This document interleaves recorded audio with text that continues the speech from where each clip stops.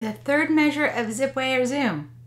We're gonna just do the A string part, and it goes A, one, two, one, A. So here we go, one, two, three, four. And that's the first measure.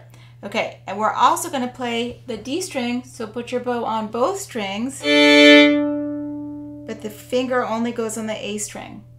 So let's try it that way.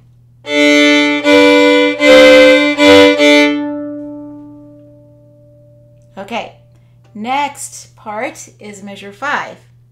Same notes, A, A, one, one. I'll show it like this so you can see.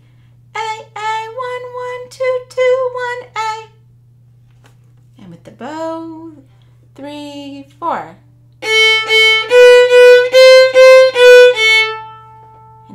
Adding, the D string, so tilt the bow so it's on two strings now. Three, four. And then we have a measure of rest. Okay, next part. this one's longer. A, three, two, one, A, A, one, one, two, one, A, high dot, A, A. I didn't sing the right notes. Uh, but that's what the notes are called.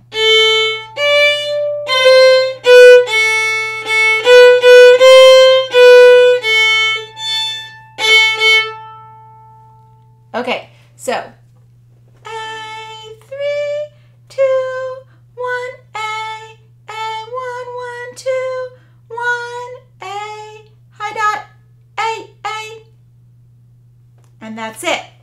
Okay, this part also has open D for the first part, so I'll show you where that part goes. A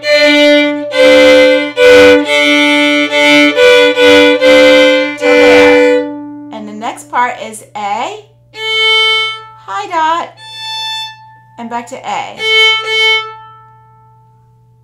Okay, so let's do that part together. This is measure seven. One, two, three, four.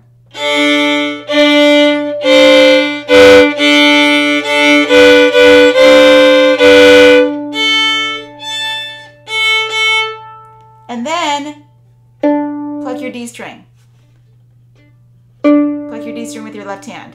You can use any finger, whatever you like. I like three. You could use something that you don't like and get better at it. So maybe if I, I don't like using my first finger, then I'll challenge myself to do that one. That's up to you.